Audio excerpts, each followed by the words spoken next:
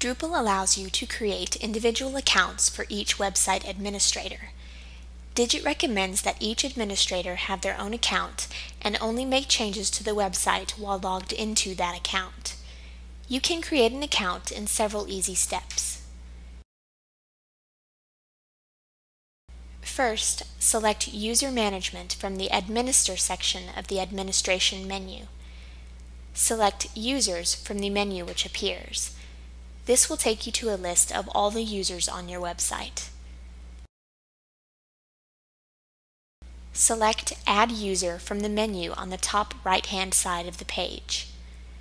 Assign the individual a username and enter the email address to which the account will be connected. Enter a password. Digett recommends that you use a secure password. The website will email the user to inform them of their account's creation and direct them to log in and change their password to whatever they prefer. Assign the user a role. Roles should have been created during your website's build, and your support contact will be able to tell you what each role allows a user to do on the website.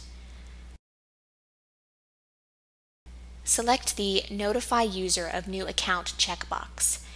This will email the user at the email address you entered, informing them of their account's creation and directing them to log in and change their password to whatever they prefer.